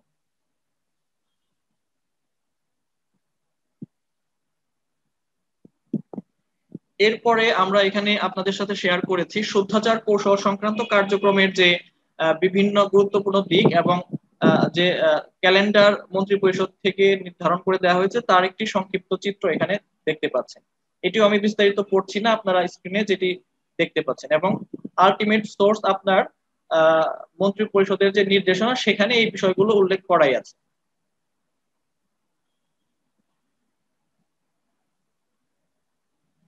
তৃতীয়ত, আমরা এখানে শেয়ার করেছি ই গভর্নেন্স এবং উদ্ভাবন সংক্রান্ত কার্যক্রমের একটি সংক্ষিপ্ত উপস্থাপনা, যেখানে প্রথমে দেখা যাচ্ছে পর্যালোচনা সভা পর্যালোচনা সভা আয়োজন করতে হবে আমাদেরকে। পুরো বছরে চারটি, অর্থাৎ প্রতি কোয়ার্টারে একটি করে করতে হবে। অর্ধবার্ষিক প্রতিবেদন প্রেরণ করতে হবে আমাদেরকে তেরো জানুয়ারি দু সালে, বাইশ তারিখের মধ্যে। উদ্ভাবনী ধারণা বা এসআইপি বাস্তবায়ন করতে হবে আঠাশ ফেব্রুয়ারি দুহাজার বাইশ তারিখের মধ্যে। এরপরে আমরা এখানে দেখতে পাচ্ছি সেবা প্রদান প্রতিশ্রুতি সংক্রান্ত কার্যক্রমের উল্লেখযোগ্য কিছু দিক। এখানে অংশীজনকে অবহিতকরণ সভা আয়োজন করতে হবে দুটি। হালনাগাদ সিটিজেন চার্টার ওয়েবসাইটে প্রকাশ করতে হবে চার চার কোয়ার্টারে চার। এখানে আপনারা দেখতে পাচ্ছেন অভিযোগ প্রতিকার ব্যবস্থা সংক্রান্ত কার্যক্রম, যেখানে ত্রৈমাসিক প্রতিবেদন প্রেরণ করতে হবে চার কোয়ার্টারে চারটি এবং অবহিতকরণ সভা আয়োজন করতে হবে দুইটি। সর্বশেষ আপনারা যেটি দেখতে পাচ্ছেন এখানে, তথ্য অধিকার সংক্রান্ত কার্যক্রমের একটি সংক্ষিপ্ত চিত্র। এখানে আমাদেরকে আগামী পনেরো অক্টোবর দু হাজার একুশ সালের মধ্যে বার্ষিক প্রতিবেদন প্রকাশ করতে হবে। প্রচার কার্যক্রম, সভা, সেমিনার এগুলো আয়োজন করতে হবে তিনটি এবং প্রশিক্ষণ আয়োজন করতে হবে তিনটি। তো এই ছিল মোটামুটি আমাদের আজকের উপস্থাপনা। তো আশা করি আপনারা আমরা আপনাদের সাথে একটা সংক্ষিপ্ত পরিসরে মন্ত্রী পরিষদের যে নির্দেশনা, সেই নির্দেশনার আলোকে এপি এর কাঠামো এবং পরিকল্পনা আপনাদের সাথে শেয়ার করলাম। এরপরে আপনারা আপনাদের মন্তব্য বা আপনাদের অবজারভেশনগুলো আমাদের সাথে শেয়ার করবেন। তো আমাকে সুযোগ দেওয়ার জন্য কর্তৃপক্ষকে অসংখ্য ধন্যবাদ জানাচ্ছি এবং যারা কষ্ট করে ধৈর্য ধরে আমার কথাগুলো শুনলেন তাদেরকে আবারও অসংখ্য ধন্যবাদ এবং কৃতজ্ঞতা জানিয়ে আমি আমার সংক্ষিপ্ত উপস্থাপনা শেষ করছি। ধন্যবাদ সবাইকে। ধন্যবাদ জনাব মোহাম্মদ সাজ্জুদুল করিম স্যারকে। অত্যন্ত সুন্দর এবং সাবলীল ভাবে এপিএ একটা, আসলে একটা বৃহৎ টপিকস আসলে এত কম সময়ের মধ্যে সবকিছু কাভার করা সম্ভব না। তারপরেও স্যার নির্দেশিকা পরিবর্তন সমূহ নতুন কাঠামো, আমাদের করণীয় নাম্বার বন্টন, বিভিন্ন বিষয়ে টাচ করার চেষ্টা করেছে। তার মধ্যে আবার তথ্য অধিকার, শুদ্ধাচার, অভিযোগ প্রতিকার এইগুলো অনেক বৃহৎ বৃহৎ একটা ওয়েবিনারেই আমরা আলোচনা করতে পারি। সেটা এরকম হয়ে যায় আর কি তো তারপরেও আমরা ধন্যবাদ জানাচ্ছি সংক্ষেপে খুব সুন্দরভাবে উপস্থাপনের জন্য মূল আলোচককে, মুখ্য আলোচককে।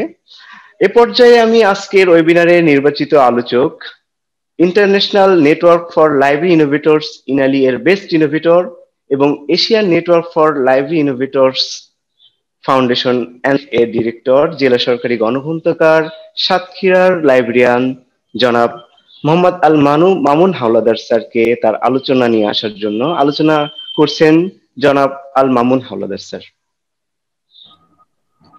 আমাকে কি শোনা যাচ্ছে সঞ্চালক মহোদয় জি স্যার শোনা যাচ্ছে ধন্যবাদ।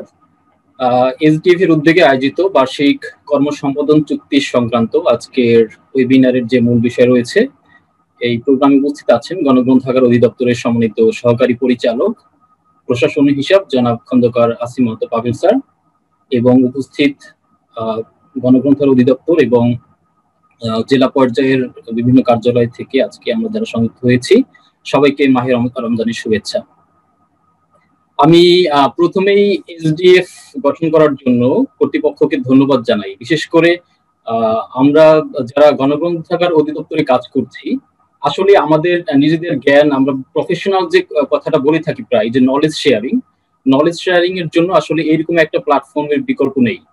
সো আমি এই জন্য আবারও কর্তৃপক্ষকে ধন্যবাদ জানাই এবং আশা করি আমাদের পরস্পরের জ্ঞান সমৃদ্ধ করার জন্য এই ফোরামটা খুব বেশি আমাদেরকে উৎসাহ প্রদান করবে।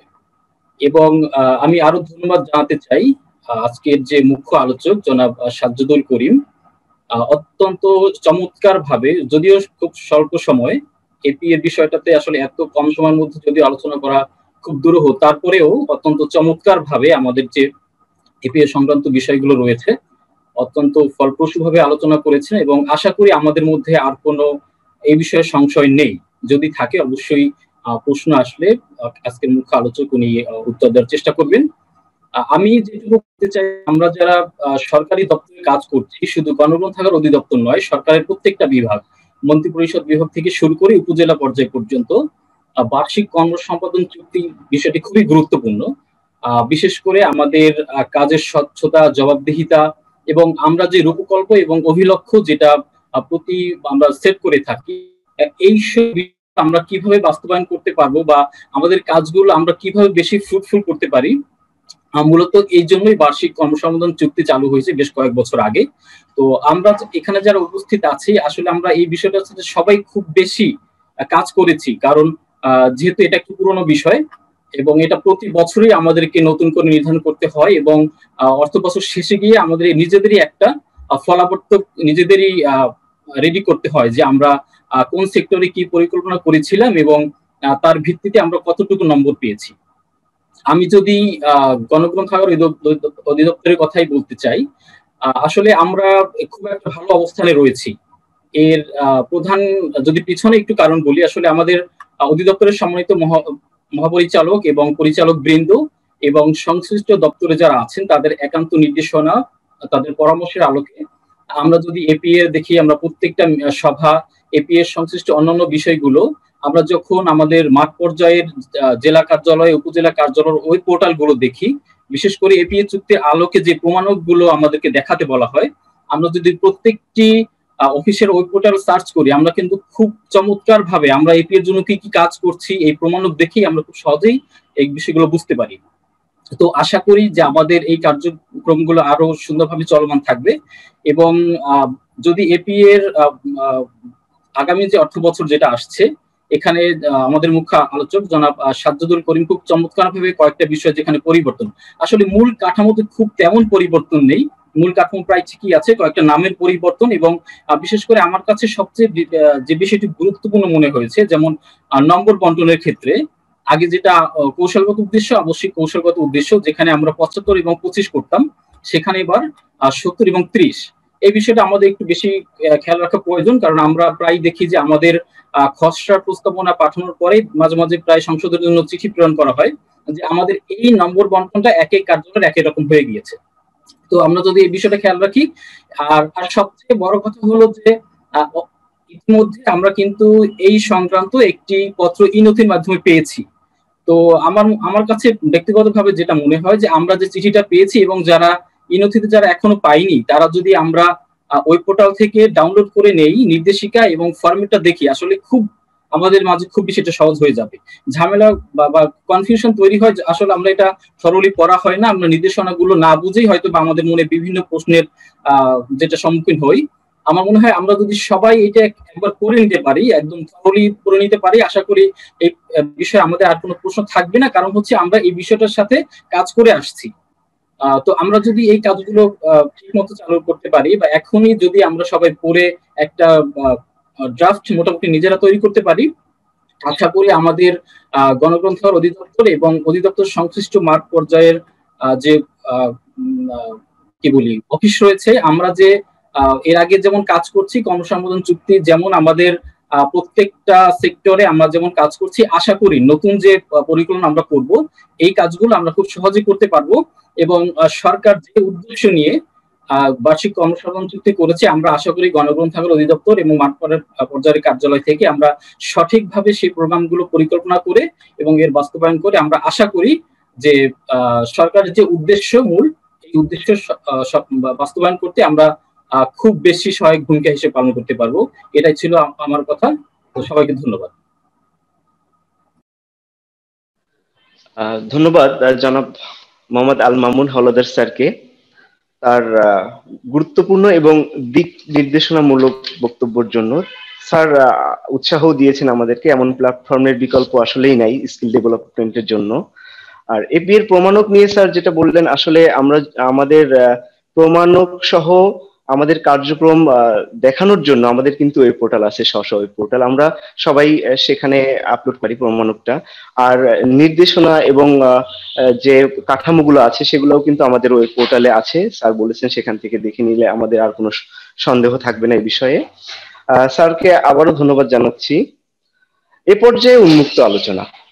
এই আজকের ওয়েবিনারের যে মূল বিষয়, সেই বিষয়ের উপরে যদি কার কোনো কোয়ারি থাকে বা আরও আমরা কীভাবে আমাদের এই প্ল্যাটফর্মটাকে এগিয়ে নিয়ে যেতে পারি এই বিষয়ে যদি কার কোনো বক্তব্য থাকে আমি অনুরোধ জানাচ্ছি। তার নাম বলে পরিচয় দিয়ে বক্তব্যটা রাখার জন্য ধন্যবাদ।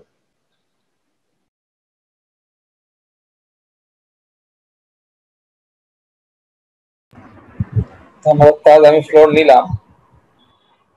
প্রথমে সাবজেক্টকে ধন্যবাদ জানাচ্ছি। এত সুন্দর একটি প্রেজেন্টেশন এত স্বল্প সময় তৈরি করার জন্য এবং এসডিএফ এর ব্যানারে যে এত সুন্দর একটি আয়োজন করা হয়েছে, এই জন্য আমি অভিভূত। আসলে আমাদের নলেজ শেয়ারিং এর কোনো বিকল্প নেই।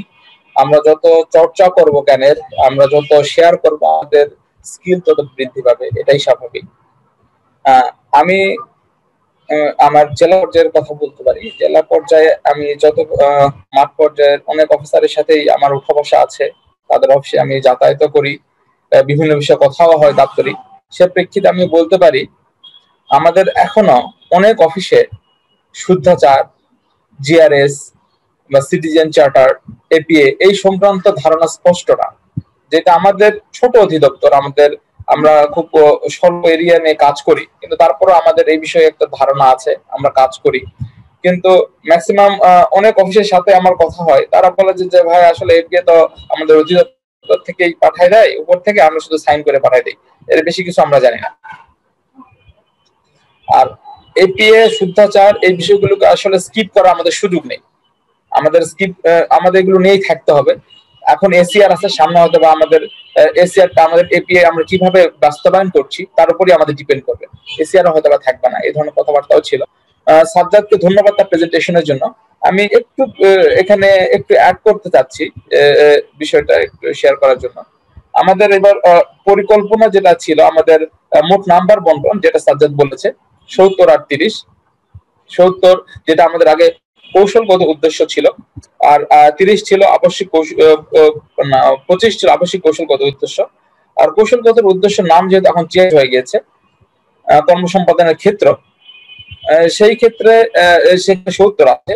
আর আমাদের যে তিরিশ নাম্বার তিরিশ নাম্বারের এইখানে তিরিশ নাম্বার আছে এনআইএস, ন্যাশনাল যে শুদ্ধাচার কৌশল আছে পঞ্চাশ নাম্বার। এটা এপিএ তে যার মার্কস থাকবে দশ। আর ই গভর্নেন্স অ্যান্ড উদ্ভাবন এখানেও আছে পঞ্চাশ নাম্বার। এটা আলাদা কর্ম পরিকল্পনা কিন্তু এপিএ তে হয়ে যাবে দশ। কিন্তু এই পঞ্চাশ নাম্বার দশের মধ্যে আমাদের মার্কিং করতে হবে।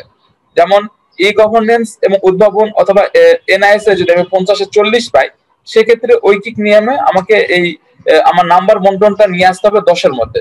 সেক্ষেত্রে আমি আট পাবো। এপিএ তে আমার আট নাম্বার যুক্ত হবে। সেবা প্রদান প্রতিশ্রুতিতে আমার নম্বর আছে পঁচিশ এপিএ তে আমার এটা যোগ হবে তিন। ঐকিক নিয়ম আমাকে বের করে করতে হবে। তথ্য অধিকারে সেম ভাবে পঁচিশ আছে, আমাকে নাম্বার দিতে হবে চার।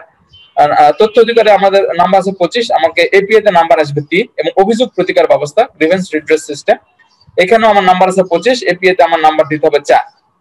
এটা একটা বিষয়।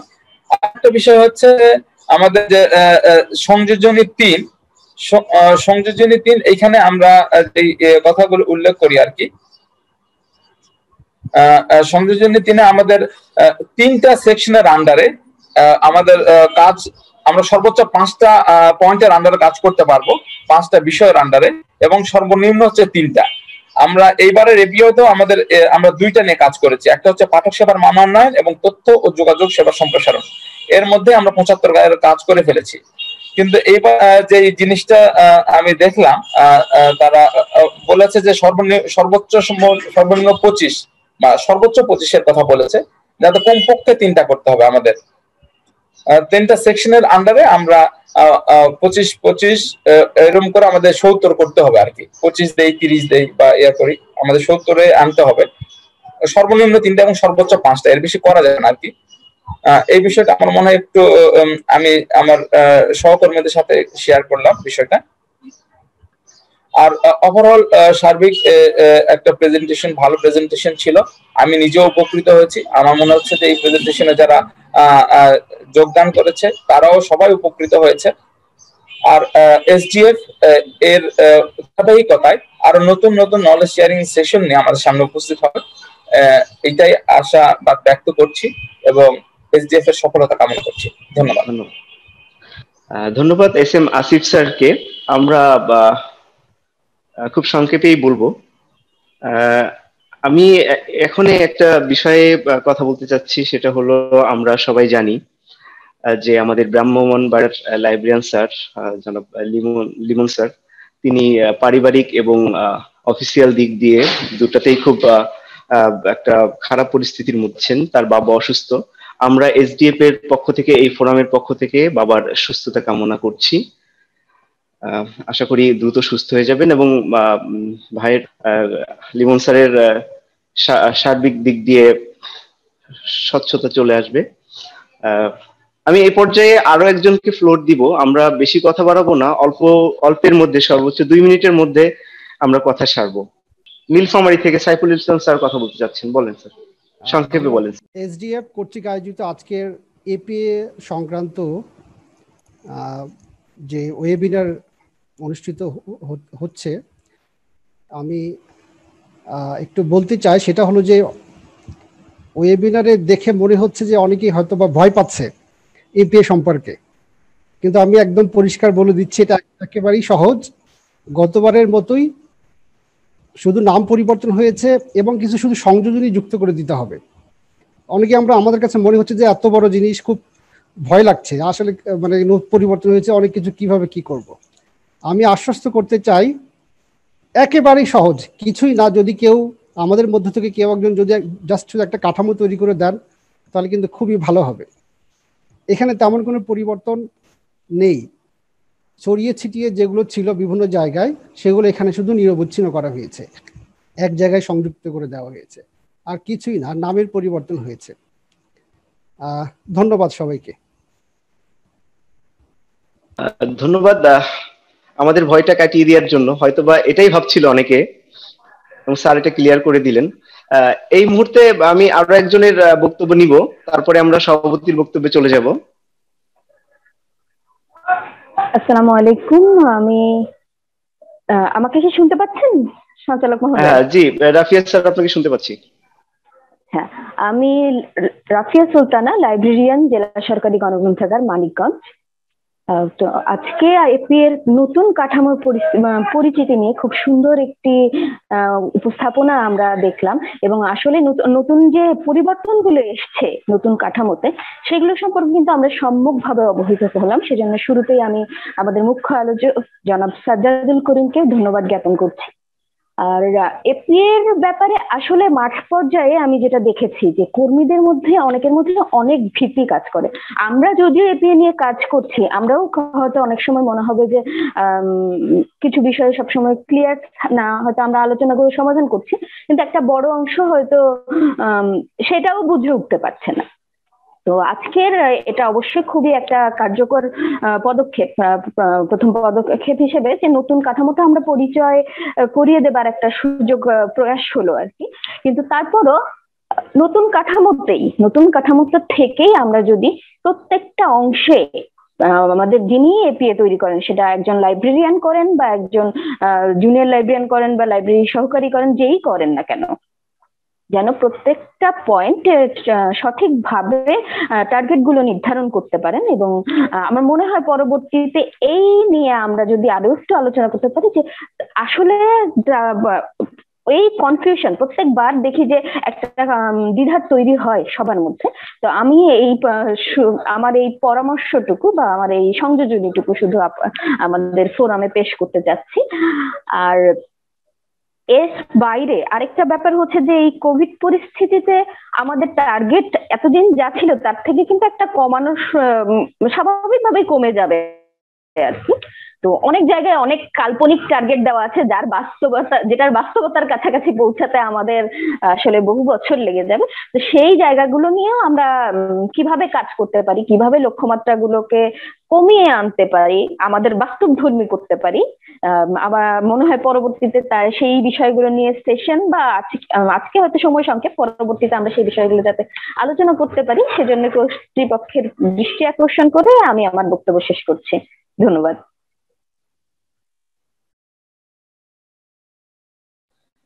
ধন্যবাদ রাফিয়া সুলতানাকে তার বক্তব্যের জন্য। আমি এ পর্যায়ে ব্রাহ্মণবাড়িয়ার লাইব্রেরিয়ান বিমল স্যারকে কিছু বলার জন্য আহ্বান জানাচ্ছি। স্যার, কিছু বলতে চাচ্ছেন?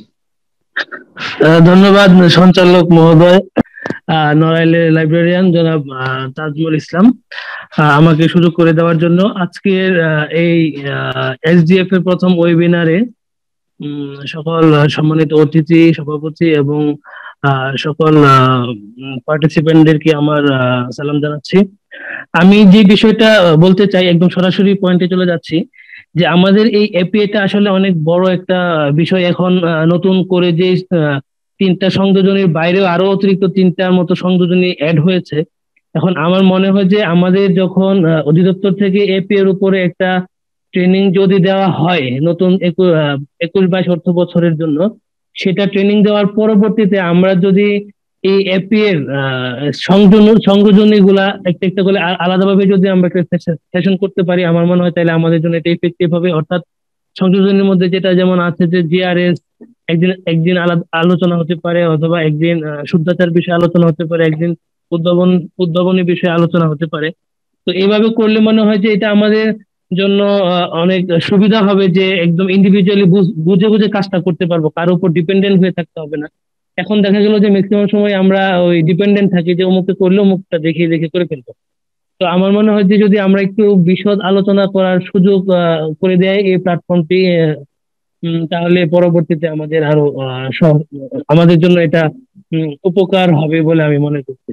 আর এসডিএফ এর যিনি, যারা এটা এই ফোরামটি প্রতিষ্ঠা করেছে বা কার্যকরী ভূমিকা পালন করছে, এটাকে রান করানোর জন্য সবাইকে আমার আন্তরিক ধন্যবাদ কৃতজ্ঞতা জানাচ্ছি। তার ধন্যবাদ জানাচ্ছি হাফিজ স্যারকে, ওইখানে আমাদের সাথে সংযুক্ত হওয়ার জন্য তো এই বলে আমার মতামত শেষ করলাম। ধন্যবাদ সালাম আলাইকুম। ইসলাম ধন্যবাদ লিমন স্যারকে তার মূল্যবান মতামতের জন্য। এ পর্যায়ে আমি সঞ্চালক মহোদয়কে কিছু, খুব সংক্ষেপে তার মূল্যায়নটা পেশ করার জন্য বলছি। ধন্যবাদ আপনাকে আমাকে আবারও সুযোগ দেওয়ার জন্য। আমি আসলে নতুন কোনো ভ্যালু অ্যাড করছি না। আমি যেহেতু আজকের ওয়েবিনারের সমন্বয়ক, সেজন্য ওয়েবিনারের যে আমাদের টাইম ফ্রেম ছিল, একটু সময় আমরা লম্বা করে ফেলেছি। আশা করছি যে সভাপতি মহোদয়ের বক্তব্যের মধ্যে দিয়ে হয়তো আমাদের ওয়েবিনারটি সমাপ্তির দিকে যাবে। যেটুকু অতিরিক্ত সময় আমরা নিয়েছি সেজন্য এসডিএফ এর পক্ষ থেকে সবার কাছ থেকে ক্ষমা সুন্দর দৃষ্টি প্রত্যাশা করছি। আর পাশাপাশি আরেকটি বিষয় আমি বলতে চাই যে আমাদের যে আজকে মুখ্য আলোচক অত্যন্ত সংক্ষিপ্ত সময়, অত্যন্ত চমৎকার একটি বক্তব্য উপস্থাপন করেছে। যদিও এই স্বল্প সময়ে এত বৃহৎ একটি বিষয়ে আলোচনা করতে গিয়ে তাকে অনেকটা স্কিপ করতে হয়েছে, সংক্ষিপ্ত করতে হয়েছে। আমরা আশা করছি পরবর্তীতে আমাদের যে ওয়েবিনারের বিষয়বস্তু থাকবে, সে বিষয়ে বিষয়বস্তু থাকবে কনসাইজ যাতে করে অল্প সময়ে ওই বিষয়টি সুন্দর করে আলোচনা করা যায়। আমি এতটুকু কথা দিতে চাই যে আমরা নির্দিষ্ট সময় পর পরই আমাদের একটি ওয়েবিনার আমরা আয়োজন করতে যা পারব বলে আমি বিশ্বাস করি। এবং আমরা শুধু ওয়েবিনার নয়, অন্যান্য আরও সুন্দর সুন্দর কিছু আয়োজন আমরা উপহার দেবার চেষ্টা করব। আমাদের নিজেদের স্কিল বৃদ্ধির জন্য। পাশাপাশি আজকে যারা পার্টিসিপেন্ট আছেন, যারা অতিথি আছেন, সকলের কাছ থেকে সুপরামর্শ এবং সহযোগিতা প্রত্যাশা করছি এবং আবারও ক্ষমা সুন্দর দৃষ্টি প্রত্যাশা করছি করে আমি সঞ্চালক মহোদয়কে দৃষ্টি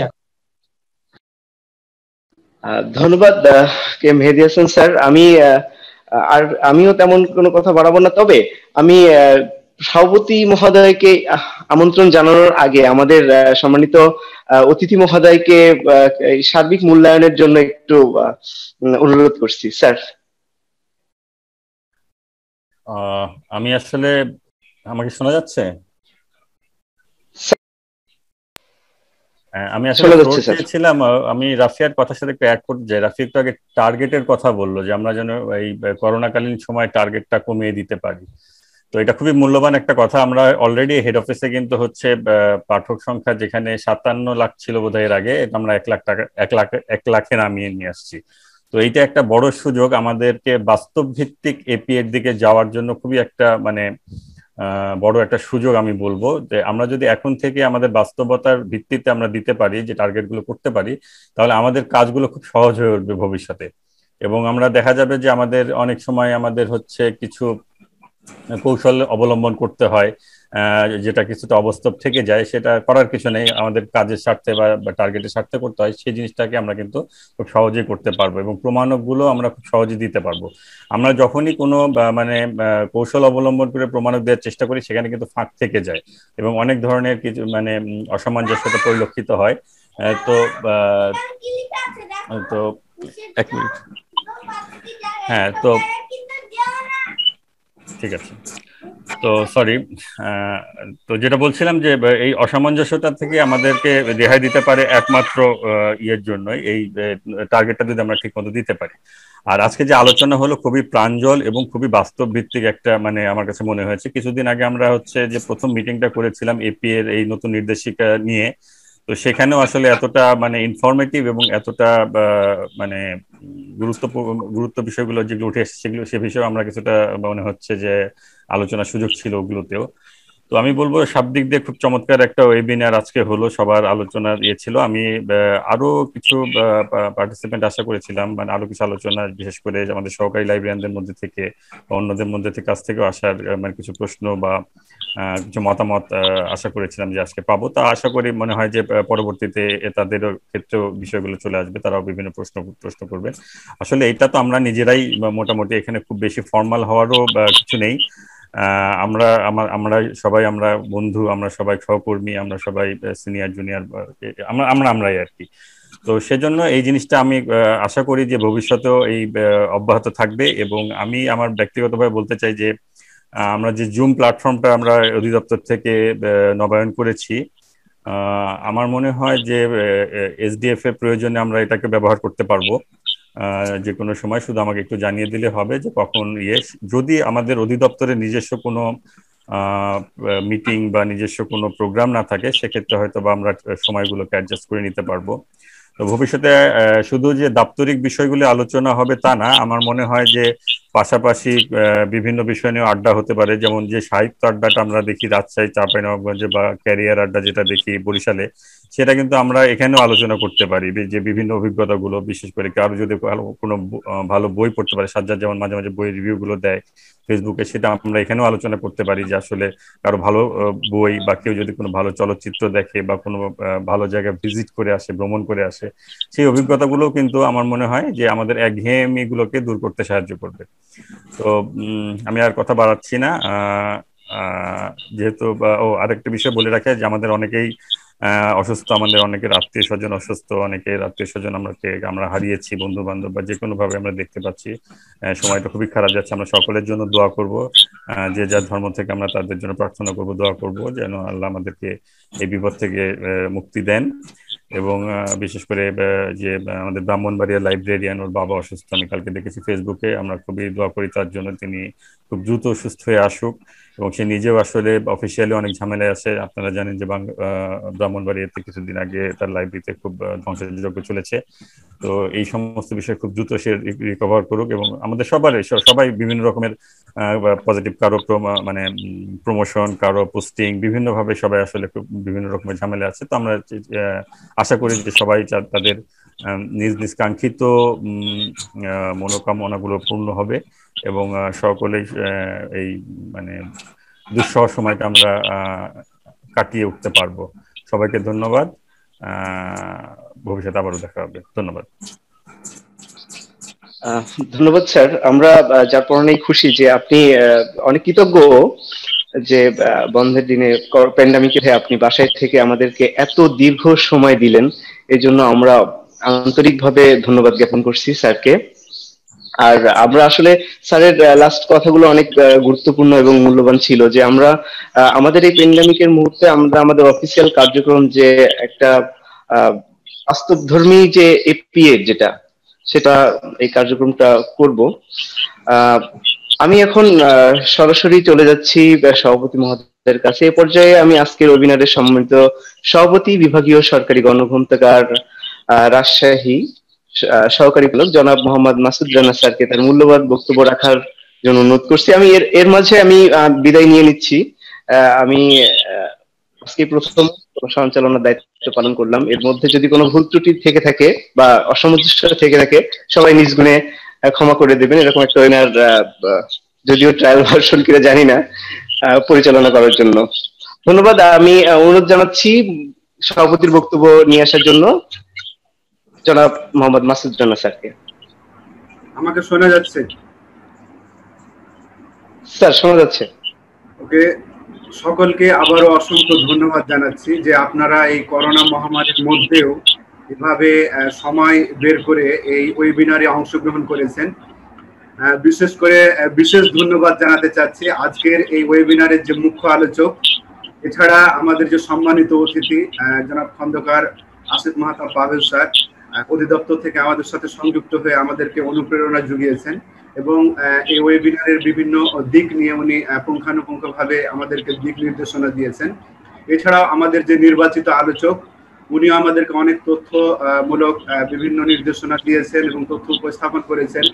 এছাড়াও আমাদের এই মুক্ত আলোচনায় যারা অংশগ্রহণ করেছিলেন এবং বিভিন্ন জেলার দায়িত্বে থাকা আমাদের যে প্রিয় সহকর্মী ভাই বোনেরা, আপনাদের সকলকে আবারও আমি আন্তরিক ধন্যবাদ জানাচ্ছি। আমি বলা হয়ে থাকে যে যার নাই কোনো গতি, তিনি হচ্ছেন সভাপতি। তো যেহেতু কোনো গতি নেই, আলোচনা বেশ ভালোই হয়েছে। নতুন করে যুক্ত করারও কিছু নেই। কয়েকটি বিষয় আমি ব্যক্তিগতভাবে খেয়াল করেছি। এই নতুন যে কাঠামো মন্ত্রী পরিষদ বিভাগ থেকে দেয়া হয়েছে, এই যে আমাদের আপার জন্য, অর্থাৎ অ্যানুয়াল পারফরমেন্স যে রিপোর্ট এই আপা ম্যানেজমেন্ট করার জন্য আমাদেরকে খুব হিমশিম খেতে হয়। এই আপাকে ম্যানেজমেন্ট করার জন্য আমরা জানি বা জানতে পেরেছি যে একটি ম্যানেজমেন্ট সফটওয়্যার চালু করেছে ক্যাবিনেট ডিভিশন এবং সেটির কার্যক্রম বাস্তবায়ন প্রায় অনেক বিভাগই করে যাচ্ছে, আমাদের বিভাগও করছে।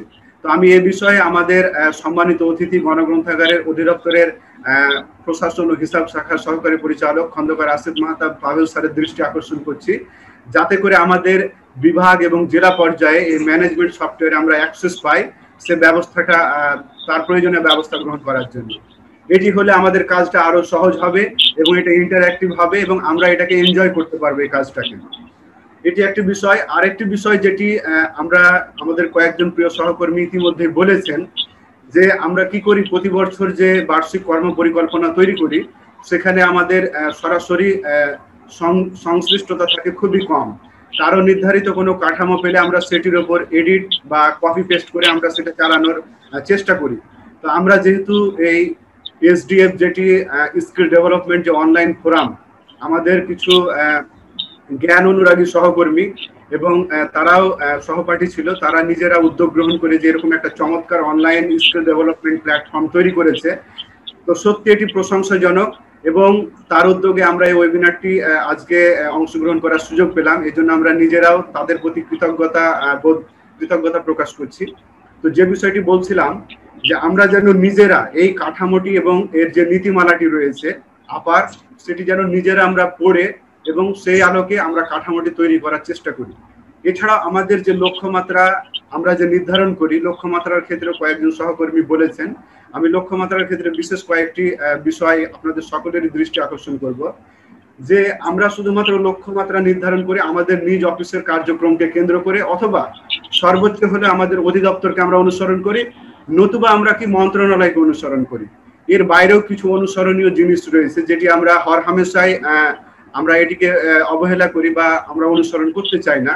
সে বিষয়গুলো হলো যে গণপ্রজাতন্ত্রী বাংলাদেশ সরকারের কিছু দীর্ঘমেয়াদী পরিকল্পনা রয়েছে, কিছু ভিশন রয়েছে এবং এই পরিকল্পনা কিন্তু সুদূর প্রসারী পরিকল্পনা। যেরকম একশো বছরের যে পরিকল্পনাটা রয়েছে, ডেল্টা প্ল্যান, এছাড়া আমাদের আন্তর্জাতিক অঙ্গনেও যে বিভিন্ন টার্গেট রয়েছে বা লক্ষ্যমাত্রা রয়েছে সেগুলো আমাদেরকে অনুসরণ করতে হয়। তাদের মধ্যে যেরকম রয়েছে এসডিজি অর্থাৎ সাস্টেনেবল যে ডেভেলপমেন্ট গোল সেটিকে আমাদের অনুসরণ করতে হয়।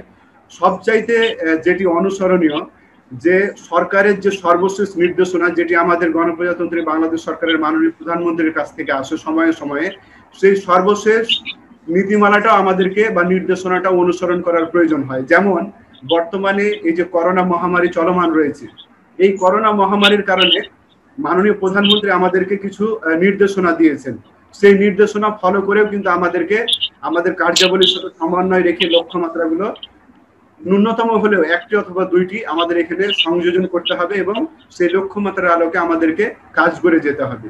তো এই বিষয়গুলো যেমন ছিল, এর পাশাপাশিও আমাদের যে পঞ্চবার্ষিকী পরিকল্পনা থাকে, অষ্টম পঞ্চবার্ষিকী পরিকল্পনা তাছাড়া নির্বাচিত সরকারের, অর্থাৎ বর্তমান সরকারের যে নির্বাচনী ইস্তেহার ছিল, সেটাও আমাদেরকে অনুসরণ করার প্রয়োজন তো এই যে এতগুলো বিষয় আমাদেরকে খেয়াল রাখতে হবে, খেয়াল রেখে সেগুলো ন্যূনতম একটি করে হলেও লক্ষ্যমাত্রা আমাদের এই আপাতে সংযোজন করতে হবে।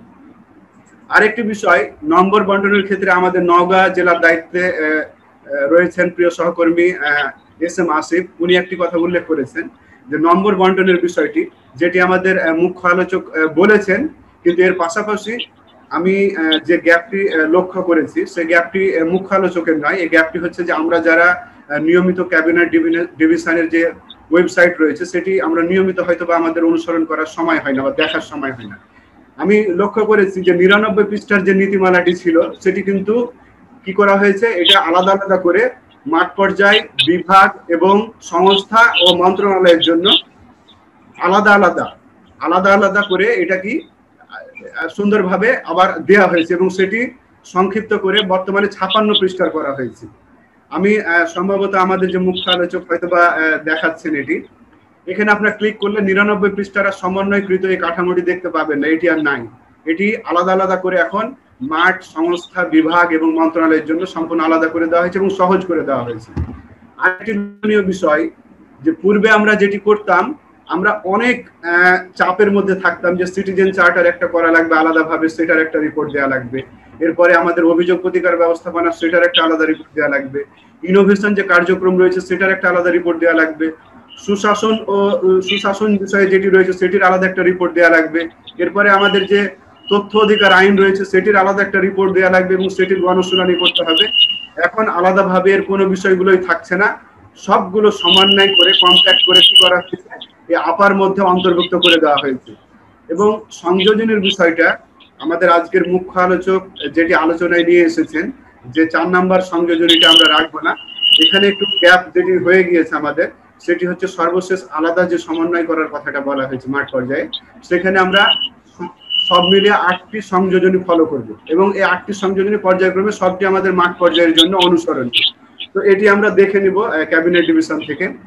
আমি আরও কিছু হয়তো বা বলতে চাচ্ছিলাম, কিন্তু আজকে সম্ভব হচ্ছে না, যেহেতু সময় অতিক্রান্ত হয়ে গিয়েছে। সামনের কোনো ওয়েবিনারে হয়তো বা সুযোগ পেলে সেগুলো নিয়ে আমরা আলোচনা করব। আবারও সবাইকে আন্তরিক কৃতজ্ঞতা জানাচ্ছি আপনাদের এই মূল্যবান সময় দেওয়ার জন্য। যে যেখানে থাকবেন, সবাই ভালো থাকবেন, করোনার মধ্যে স্বাস্থ্যবিধি মেনে চলবেন। আর আমাদের ব্রাহ্মণবাড়িয়ার সহকর্মী, উনার বিষয়ে আমি সহমর্মিতা এবং সমবেদনা প্রকাশ করছি। উনার গ্রন্থাগার যেভাবে আক্রমণের শিকার হয়েছে রাজনৈতিক আক্রমণের শিকার হয়েছে এবং ওনার বাবা যে করোনা পজিটিভ হয়েছে, এই জন্য আমরা দ্রুত তার সুস্থতা ও আরোগ্য লাভ কামনা করছি। এছাড়াও আমাদের অন্যান্য সহকর্মী যদি কোনো সমস্যার মধ্যে থাকেন, সবার আশু প্রতিকার কামনা করে আজকের মতো এই ওয়েবিনারের এখানেই সমাপ্ত ঘোষণা করছি। সবাই ভালো থাকবেন। আবারও দেখা হবে অন্য কোনো ওয়েবিনারে। আসসালামু আলাইকুম।